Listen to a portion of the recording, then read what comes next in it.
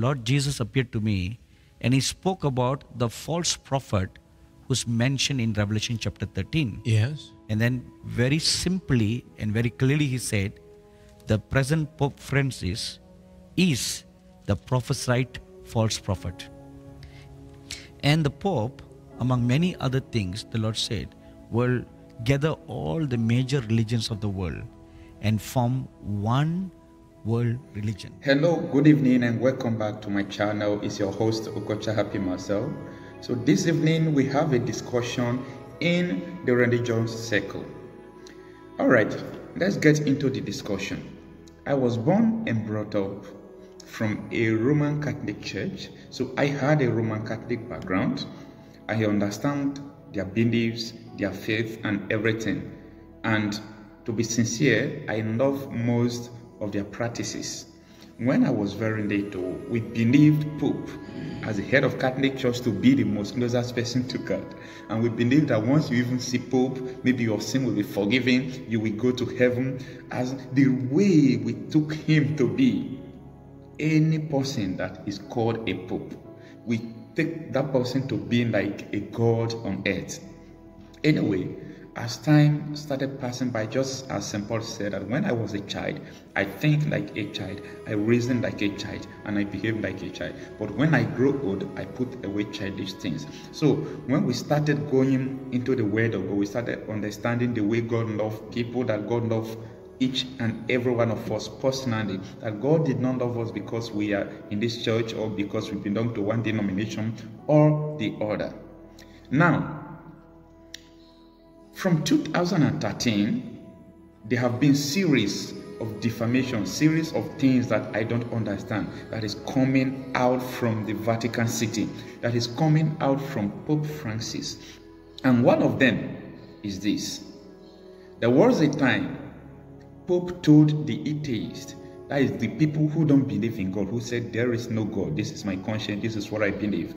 Pope told them that you don't need to believe in God to make heaven, to go to heaven. You don't need to believe in God to go to heaven. This is contrary to natural justice and equity. Even people that are in other religion, everybody believe that there is God.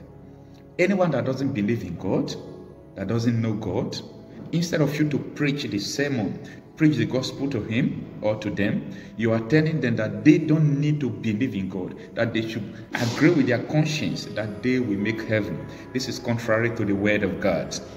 Now, at a time, he also told an audience when he was coming back in a plane, they asked him about the case. He said he don't know what to say that if God loves them, that who is he to judge?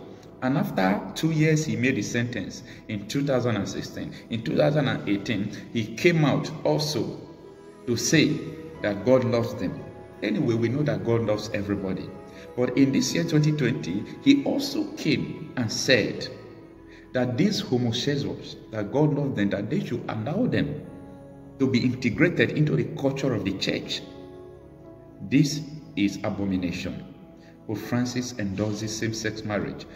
And he also told the atheists that they don't need to believe in God to make heaven. Is that all? No, that is not all.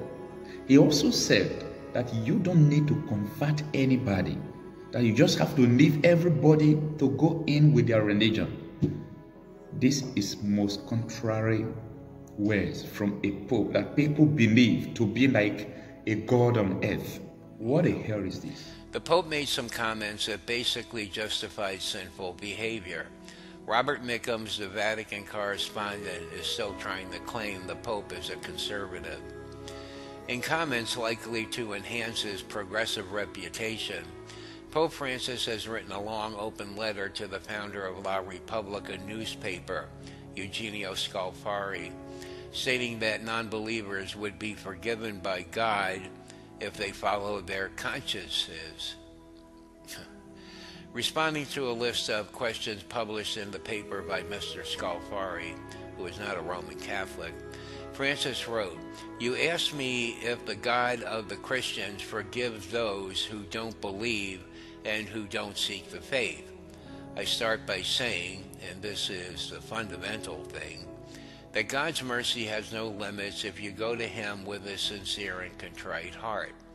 The issue for those who do not believe in God is to obey their conscience.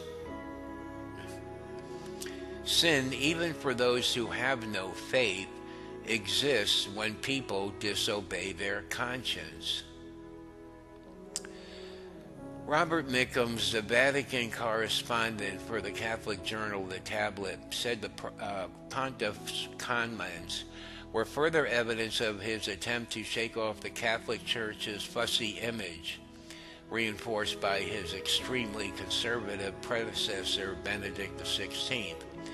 Francis is still a conservative, said Mr. Mickens, but what this is all about is him seeking to have a more meaningful dialogue with the world.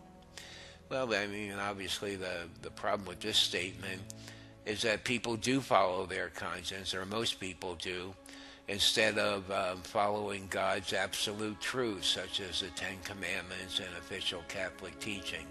You know, when you follow your own conscience, uh, people rationalize sin, they deny that what they did was sin. And you really open up the door for the enemy to start playing tricks on you, to start messing with your head. Um, so, you know, you really need to stick to, um, you know, to examine your conscience um, in the fundamental light of God's absolute truth. So there's a video uh, that was made about this. So that's. Uh, well, well worth watching, and the links are in the description box. You uh, read the prophecy in Revelation 13, mm-hmm. and you said you know who that is. Mm-hmm. Is that right? Yes. And one afternoon, as I was waiting on God, the Lord Jesus appeared to me and he spoke about the false prophet who's mentioned in Revelation chapter 13. Yes. And then very simply and very clearly he said, the present Pope Francis is the prophesied false prophet. And the Pope, among many other things, the Lord said, will gather all the major religions of the world and form one world religion, which he has begun to do now.